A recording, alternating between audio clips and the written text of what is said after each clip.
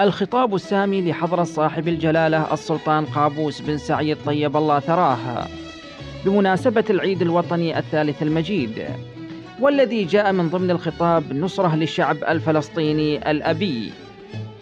حيث جاء من ضمن الخطاب أيها المواطنون أما عن سياستنا الخارجية فقد عبرنا عن ملامح تلك السياسة في مناسبات مختلفة. وأكدنا ممارستنا الفعلية لتلك السياسة على الصعيدين العربي والدولي. إننا جزء من الأمة العربية. تربطنا وحدة الهدف والمصير قبل أن يجمعنا ميثاق الجامعة العربية. وموقفنا من القضايا العربية واضح وصريح لا لبس فيه ولا غموض. وقد أعربنا عن تضامننا مع إخوتنا العرب بكل ما نستطيع. وأبدأ الشعب العماني روحا أصيلة في الوقوف ضد العدوان الصهيوني وتأييد الحق العربي في استعادة جميع الأراضي العربية التي اغتصبها العدو بالقوة والغدر والإرهاب.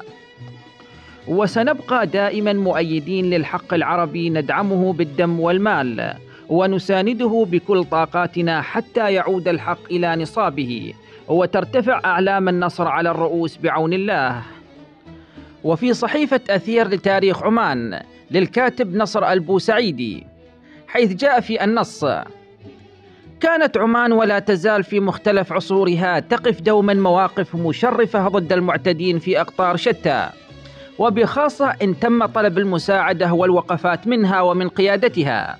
فلن ينسى أحد ذلك اليوم الذي أنجد فيه الإمام الصلت بن مالك الخروصي أهل سقطرة من غدر الأحباش أو النصارى مثل ما يدون التاريخ حينما استنجدته نساء الجزيرة برسالة فاطمة الزهراء والتي بعثتها للإمام تشكو حال ما أصبحوا عليه ليبعث الإمام الصلت بعدها مباشرة جيوشه وأساطيله التي حررت سوق قطرة وأرجعت الحقوق لأهلها وصانت عرض نسائها. وهكذا يستمر التاريخ العماني يضرب لنا أروع الأمثلة في ذلك. فالإمام ناصر بن مرشد حينما اختصم أهل الجزائر فيما بينهم ووصلته تلك الأخبار بعث لهم برسالة يشرح فيها ألمه وألم أهل عمان لما يحدث هناك. ناصحا أهل الجزائر بالسلام فيما بينهم وترك الشقاق وتلك الخلافات التي تسببت بهدر الدماء. بالإضافة إلى مقدرة دولة اليعاربة بأئمتها على نجدة الهند وأفريقيا. وقبله الخليج كله من الغزو البرتغالي الغاشم.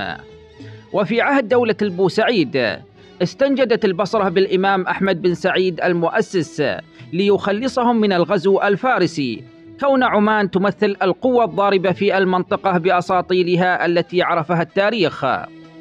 فوجه الإمام ابنه لقيادة جيشه العماني متوجها للبصرة ليكسر فيها شوكة الفرس وينجد أهلها منهم.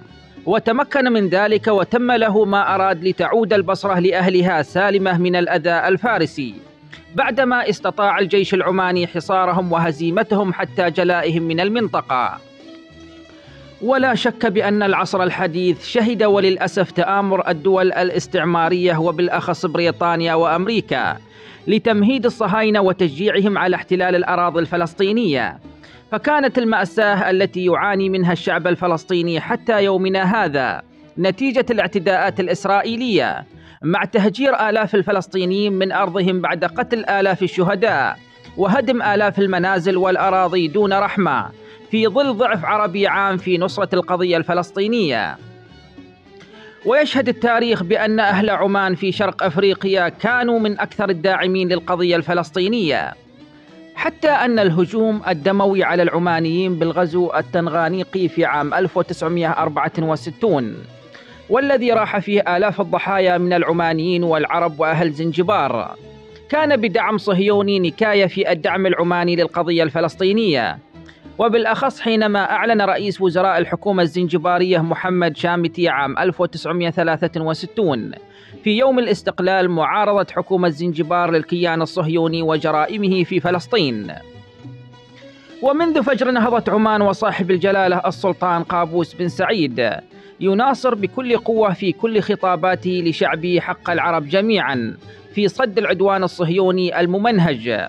ويذكر أهل عمان وكل الأجيال المتعاقبة بالقضية الفلسطينية وحق الشعب الفلسطيني في الحياة الكريمة حتى وهو يحتفل في السلطنة بالأعياد الوطنية التي ترمز لميلاده وكأنه يخبرنا دوما بأن الشعب الفلسطيني وقضيته العادلة حاضرة في كل المناسبات التي يستطيع من خلالها أن يرسخ القضية أكثر في قلوب العمانيين.